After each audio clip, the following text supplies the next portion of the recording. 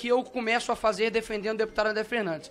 Para todos que estão aqui presentes e também aos que irão assistir isso por todo o Brasil, no dia 1 de abril, o escritório do deputado André Fernandes foi veementemente atacado.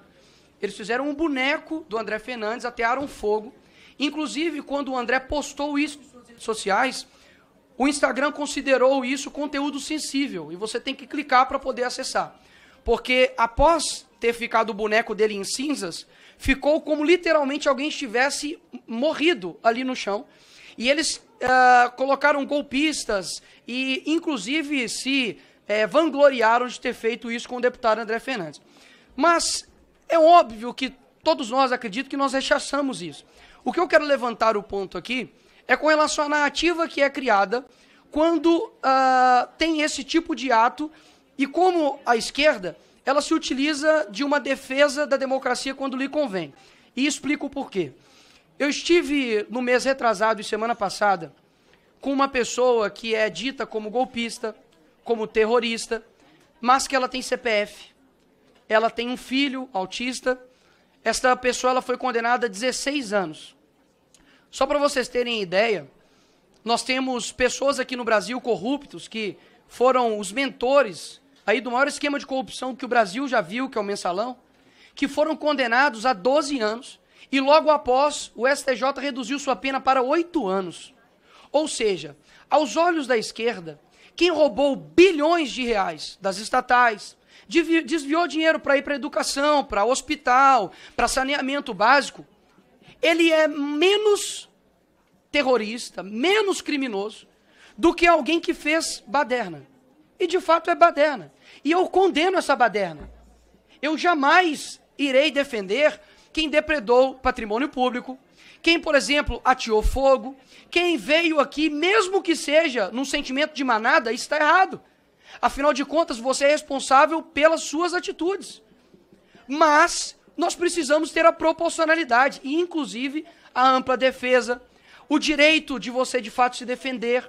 Os advogados, durante muito tempo, e alguns até hoje, não têm acesso aos autos, não têm acesso ao processo.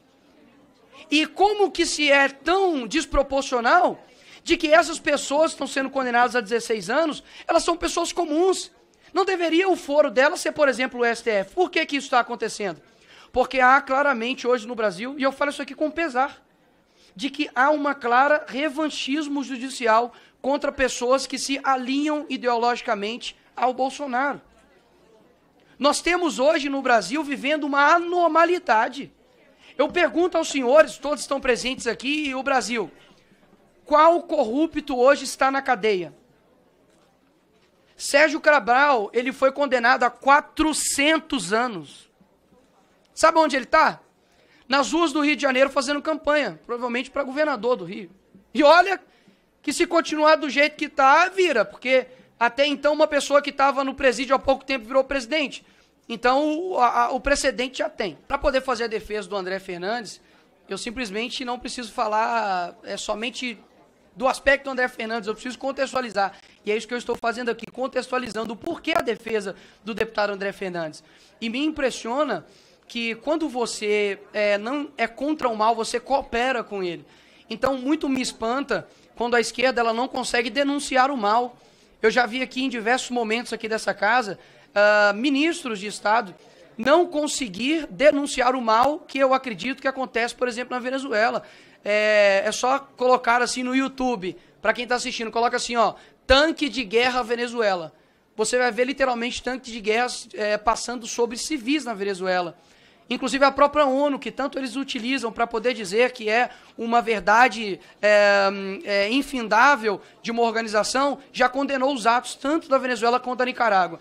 Então eu deixo aqui mais uma vez a minha solidariedade ao senhor André Fernandes e deixar aqui evidente, claro, cristalino, de que nós estamos vivendo de fato uma cegueira ideológica onde por conta de A defender A e B defender D, B, nós não conseguimos atacar o mal. Saibam que aquilo que nós precisamos como representantes do povo fazer é termos coerência. Coerência quando um errar, falar que errou.